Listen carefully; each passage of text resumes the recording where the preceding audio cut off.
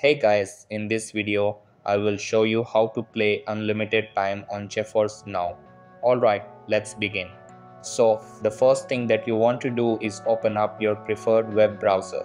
Over here, you can use any browser like Google Chrome. After that, search for GeForce Now and open the official website. Then you will see the GeForce Now homepage. Over here, you can use the free version without buying any membership. After that, you will see a list of games. Then, once your hour is nearly over, press on the two horizontal lines called menu. Over here, select settings. After that, go to server location.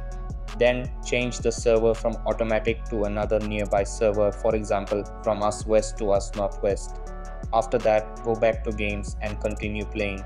Then you will get another free hour. After that, keep repeating this process by switching servers to play unlimited hours. So that's basically how you can play unlimited time on GeForce Now. And that's it for this video. If you found this helpful, consider subscribing and giving this a big thumbs up. Thanks.